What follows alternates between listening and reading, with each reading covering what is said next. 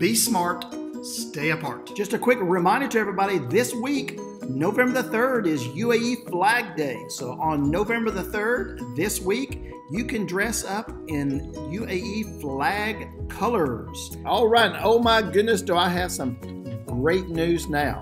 All Mumtaz house students will receive their pizza and popcorn reward today at lunchtime for being the winning house of the quarter for quarter one. So, congratulations, Team Mumtaz. Homeroom teachers will give each Mumtaz student a coupon, and students can use that coupon or coupon, depending on how you like it, in the school cafeteria to get a slice of pizza and a bag of popcorn at lunchtime today.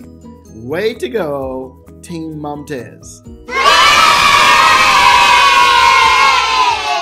Well, hello, Dunecrest American School Elementary. And most importantly, is how did you do on your Dubai Fitness Challenge yesterday? Did you get your 30 minutes of exercise in? If not, shame, shame, shame. We've got to do that. Now, yesterday I saw a lot of students after school walking the track, getting their 30 minutes of exercise in. Make sure that you download the app on your phone and put that in because we want to track that and show the world how awesome you are in getting your 30 minutes of exercise in every single day. Take the Dubai Fitness Challenge, it is wonderful. Do not ever think, my Dunecrest Elementary School students, that you are too young to be helpful in the world. Do you know that there are students in our school here at Dunecrest right now who collect money for charities and put on talent shows to raise money for other worthy causes? There's an American proverb that goes like this You always help yourself when you help others. Just because you are a young person does not mean you can't do something important in the world. Sometimes that helps people who are hungry or sick or even homeless. You are never too young to make a difference in the lives of others. And remember, when you help others, you help yourself become the very best person you can be. Now, listen to what my friends here have to say.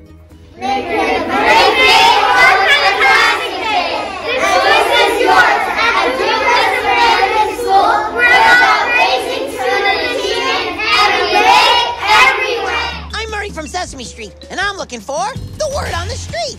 What's the word on the street? Respect.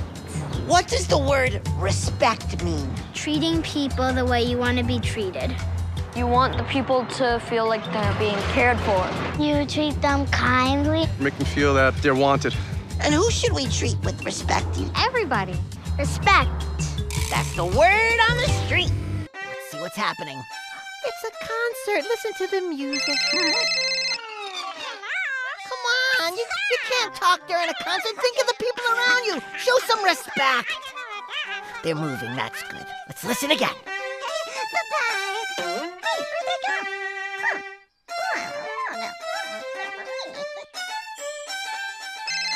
Ah, come on! You're not thinking about everybody around you. You're not showing any respect.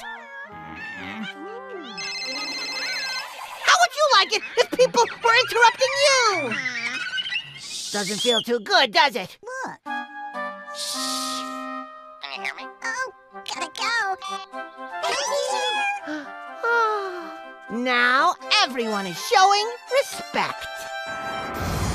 Bye bye. What does the word respect mean? Respect is when you treat someone like you care for them. You treat them special. To appreciate and value others. Who do you show respect to? My parents, my teachers. My uncle, my aunts, my friends in my classroom. A sign of respect would be making sure not to hurt your friend's feelings. If you meet somebody shaking their hands. Calling the person Mr. and Mrs. Now, please stand for the singing of the UAE national anthem and let's all sing it loud and proud.